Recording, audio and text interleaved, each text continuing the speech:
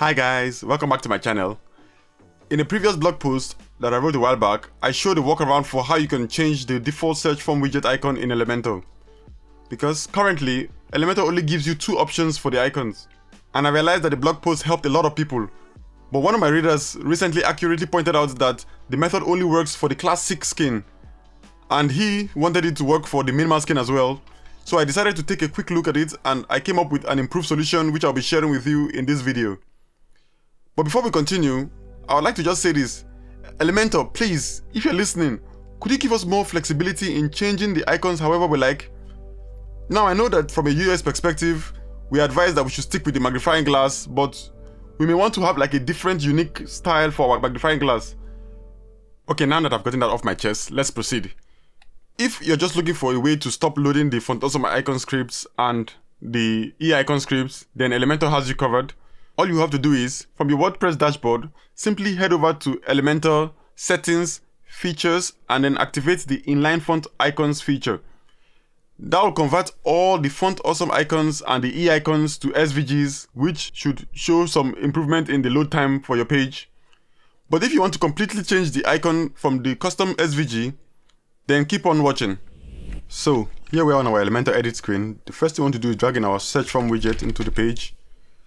And as I explained in the beginning of the video, Elementor's options are limited. There are only two icons you can change to, either the magnifying glass or the right arrow nothing else. But there's a workaround if you're using the classic skin, so which is under the type, change it from icon to text. When it's on text, then go over to where you have your icon saved. Mine is on the desktop, then edit it with Notepad. Copy all the content of the code, and then on your text, replace the search with the code of the SVG. Now that we have it there, let's just add in an aria hidden attribute so screen readers can avoid mentioning it. So aria hidden equal to true. And that's it. So if you're using just the classic skin then this is the perfect method for you but let's update it. If you're using any other method which is the minimal or the full screen then this method will not work for you because there's no option for the search button the only way you can do this is by using JavaScript to change the icon. And I will link the JavaScript that I use in the description below so you can check it out. Let's go and copy the code. We'll be using the HTML widget, but you can use your favorite code snippets plugin. I normally use WP Codebox, but you can use anyone you want, or you can even use your child theme if you like to use that. So let's just use an HTML widget, drop it onto the page, then paste the content of the HTML code. The final step is to add in our class name to the icon. So click on the icon under the advanced tab, the CSS classes, add in the class name of dd search double hyphen svg icon and then save it. At first you won't see any changes, but all you have to do is refresh the page and then the changes will reflect. As you can see, our icon now is on the page.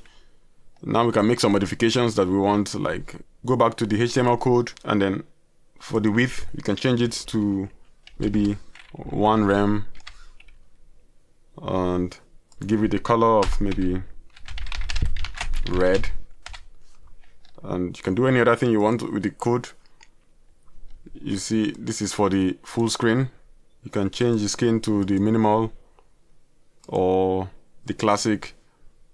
Uh, let's change the icon back to icon. Like I said it will not reflect unless you refresh the page for some reason. I'm not sure why. But when you refresh the page then it gets loaded.